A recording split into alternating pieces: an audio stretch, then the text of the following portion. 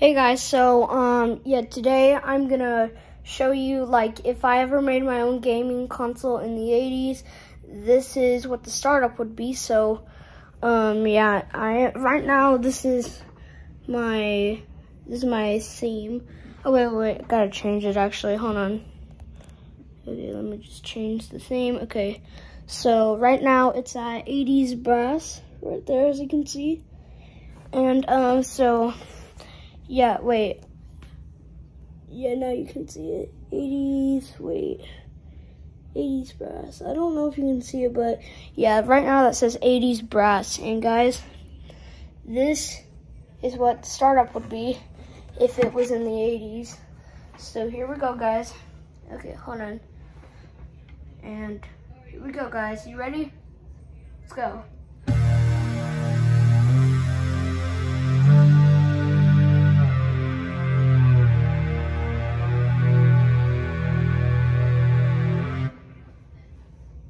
And there we go, guys.